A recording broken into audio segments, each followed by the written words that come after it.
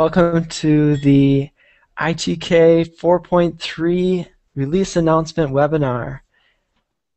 Today we're going to be talking about what's new in the, the recently released ITK 4.3.0, all the great work that's gone into the project, and hopefully we're going to cover most of it. And if you have some questions or feedback, I'm happy to hear what you have to say. Please enter it into the chat and our moderator, Katie, will help pass that those questions along. So ITK 4.3 has been in the works for quite a few months. It's an excellent release. We have a lot of great new features and improvements. It's very exciting. Uh, we have a lot of community me members working on it. This is a release since uh, 4.0 and there were a lot of funded projects. Some were extended and completed in this process, but we also had a lot of very good community work that was finished during this release. One of the big things that that was finished was a experimental support for DCMTK. So DCMTK is a DICOM library. It's one of the major open source DICOM libraries out there, and it has support for a lot of the different DICOM features. DICOM is a very complex medical imaging standard. So quite a, for quite a while, ITK has been support for reading and writing files using GDCM, the GDCM library. And now we have another option, an experimental option with DCMTK. And DCMTK support is experimental at this point. It's not enabled by default. If you want to use it, you have to turn on the module in your CMake configuration. And in that case, on Unix, on a Mac or Linux system, that's going to download the DCMTK library and build it for you. On Windows, at this point, at least, it's required to build the DCMTK library yourself. But once you do that, uh, you have DCMTK library and the ITK-IO module built.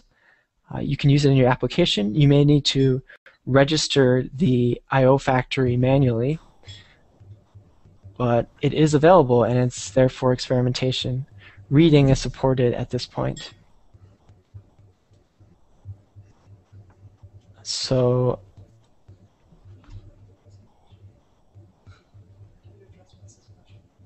so we have a question from Wes. He says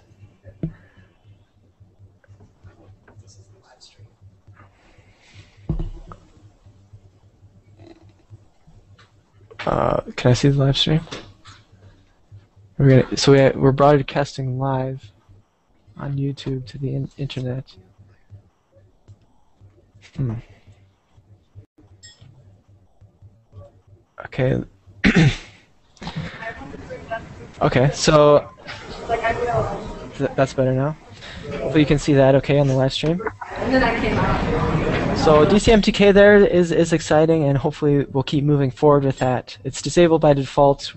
We are considering turning it on by default fault again in the git master so that we can keep improving it. Another big development that has occurred that has kind of been spontaneous is better WrapITK support. So there has been a lot of activity and buzz around WrapITK in the community and on the mailing list. And even though it's been in ITK for quite a while, uh, a lot of the bugs were were fixed in the last couple months. And WrapITK was previously a separate project from ITK. Now it's been integrated into the ITK source tree with 4.0, and it's in the modular source tree too with 4.0. But with this release, we've had a number of bug fixes, so it builds on more platforms and more compilers. A, a very large accomplishment was building on Windows Visual Studio 2008. So thanks to a lot of help from people in the community, that is now possible. There are still a lot of warnings that, that come up when it's built, but it's in pretty good shape. I created a wiki page to try to keep track of which platforms it's known to build on and which platforms it's not to, known to build on. It won't be building on Visual Studio 2010, um, but it should be working fine on your standard GCC compilers in Mac and Linux. And uh, Visual Studio 2008 is an option on Windows.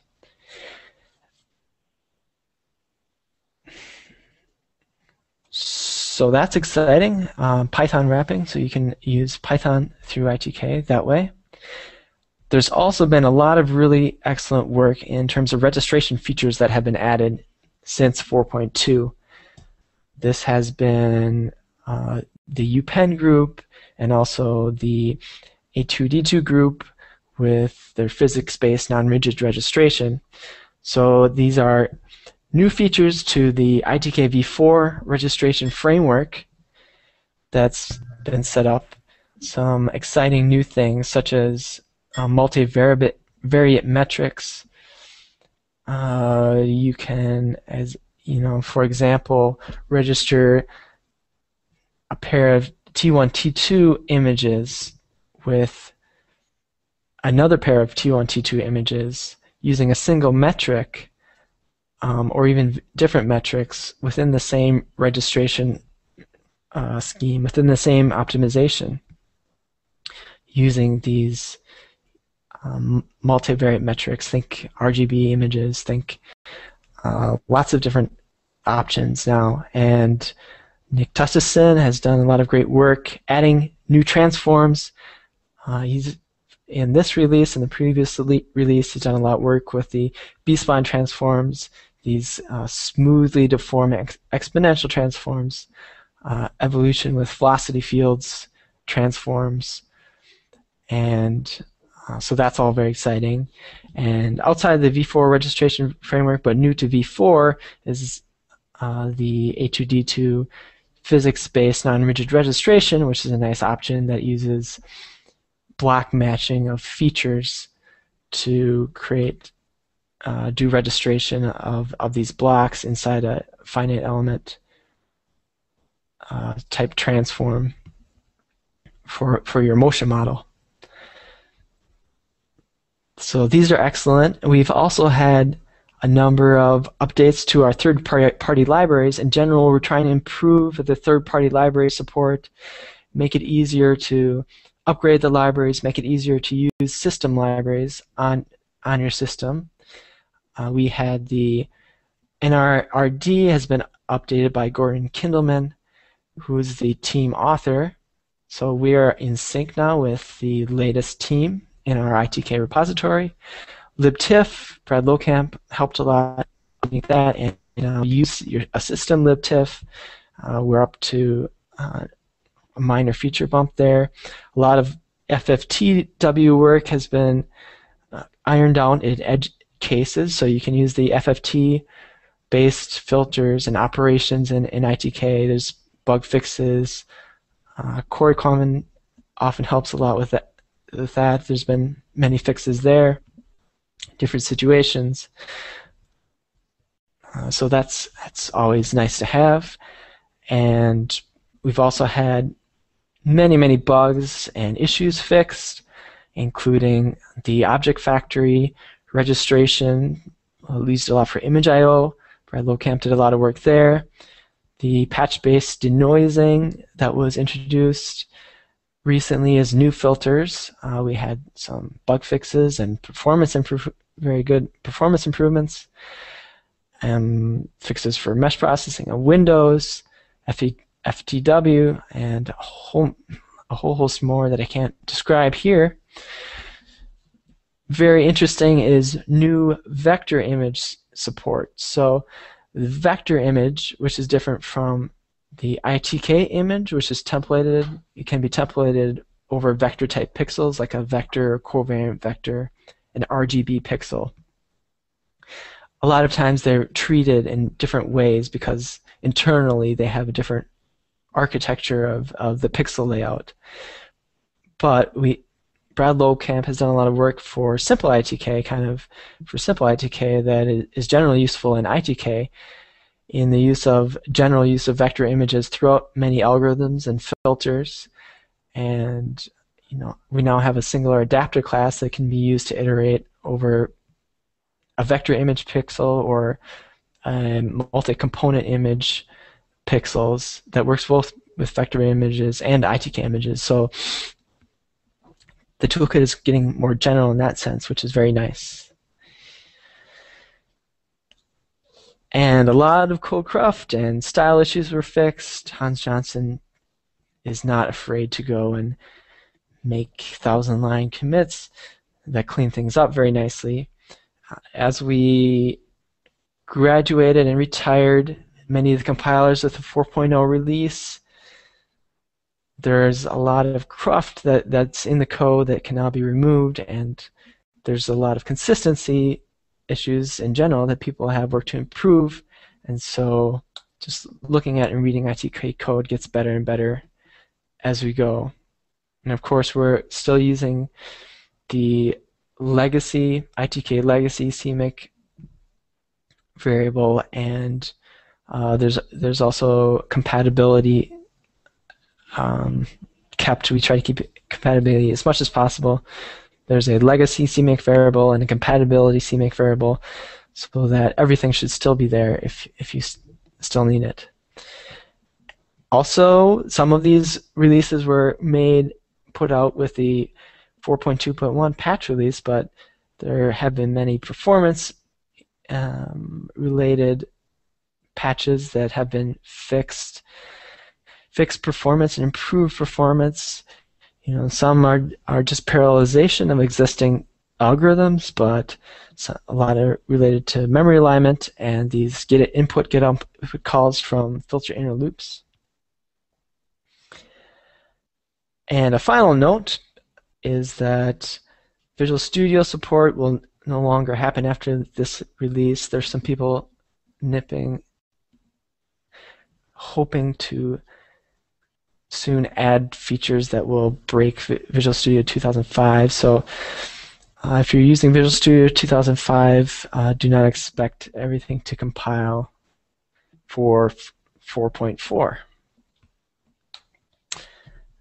And finally, uh, we, I want to make sure we say thanks to everybody who contributed patches to this release. And uh, well done. And, and this is this is your work. And congratulations to, to for all your work, Andrea Schuh, Andrew Koch, who did the registration. Arnaud helped a lot with the patches, with the mesh processing and the, the bugs. Bahua Wu did uh, some more performance improvements in registration. Bill Renson does many very valuable things. Brad King, Brad Lowekamp, Brian Avants, Brian Helba made his first commit. Cory Quammen David Doria fixed some nice things in the neighborhood iterators. Dirk Padfield made some important fixes. Fotis helped out with the patch. Gang Song, Gordon Kindlmann with the NRRD. Hans Johnson made many good improvements. Ho Chang made his first commits. JC made some nice commits from Slicer. We're excited to have slicer commits coming back and forth through ITK. Jeffrey Duda, some nice transform work, I believe. Kent Williams, many good work with DCMTK especially. Big congratulations to him. Patch-based noising was helped fixed by Chris. And Mario st Staring, very important patches, small patches. I'm at McCormick. There's also and Matthias Sees helped out with wrapping, as many people did. And Michael Stauffer and Nick Tustison, lots of great registration improvements. Paul Novotny, Richard Beare, Willie Huber, and Xiaoxiao Liu did some good work in updating the lesion sizing toolkit. So that's a tip of the iceberg of all the great things in ITK 4.3.0. Hopefully you'll try it out and, and give your feedback and contribute and help help us work towards 4.4. Are there any questions or comments or concerns from people? No, no questions. Actually, I have a question. Okay. You mentioned the uh, wrapping uh, was now enabled by default. Is that uh, has that started showing up in the dashboards? I I, I just want to know because I I'm not sure that I've been testing that. Okay, that's good. Yeah, yeah, Kevin, you have some dashboard nightly builds that are, I think, are very valuable and appreciated. And so wrapping is working by default on most platforms. It's not enabled by default, but what did help make it make it possible that a, big wrapping improvement is we had some contributed dashboard machines. There's a, you see there's about four or five nightly dashboard builds one for Visual Studio and uh, a few for Mac OS and one for Linux. But we could use more of those. If you have the resources, it- it's a great thing to contribute. Wrapping now does take quite a bit of time to do a fresh build from scratch. So it's something to, con- to, to consider if you do have the the resources available. Uh, I can certainly great to get more enable it on, on Bubbles. That would that, be awesome. that definitely has the resources. Uh, I'll check in and make sure I know how to make sure that wrapping is enabled. Great, great, great. Re- yeah, really appreciate that. All you have to do is turn on uh, ITK wrap Python or so, I think, and then make sure you have the the appropriate headers installed for Python, the Python headers, the development headers. And and the other thing to keep in mind with wrapping, if you're building wrapping, is after you turn on enable wrapping, it, Python wrapping is turned on by default, and then there's some CMake variables. If you want a successful wrap build, you have to make sure all the CMake variables related to Python are pointing to the consistent Python library. And this is a bigger concern on Mac, especially where they it ships with the system Python, and people also often install another third-party Python. But if you grep through the cmakecache.txt, there's uh, Python-related variables, and that's just mostly the location of the Python header and the Python library and the Python interpreter. Uh, I believe Fedora has both uh, Python, which is 2, and Python 3 somewhere, and I think the default is Python 2. hmm Does do the the CMake uh, find Pythons correctly find? Well, obviously, if it if it gets confused on some platforms, it'll get confused on some platforms. Uh, Right. Yeah, that's that's a really good point. Yeah, yeah. It, you have to check on it. I found that. Yeah, you really got to watch and make sure that it, it's finding the consistent Python version, and that's a really good point for for especially a lot of re- Linux distributions have Python 2, Python 3 installed at the same time. I think most people are still using Python 2, and I think that's what we're testing 2.7 or 2.6 at this point. So, um, I mean, that's what people have had the most success yet. I'm not sure if people have tested 3, 3.x yet with Python, but um, that may be something to look into for the next release. I know Simple ITK, which has great support for many languages,